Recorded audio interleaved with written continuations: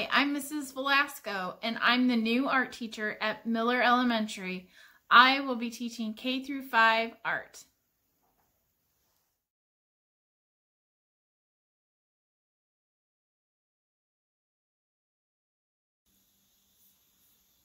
I've been teaching for nine years and I've taught all different types of grades and I'm very excited to start this new adventure with all of you.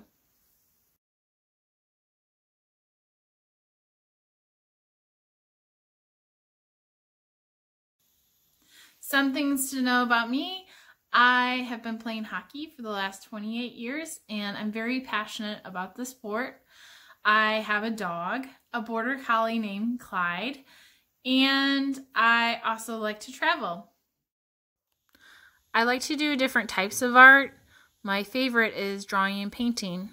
I also love to take reference from popular culture and use it in a different way.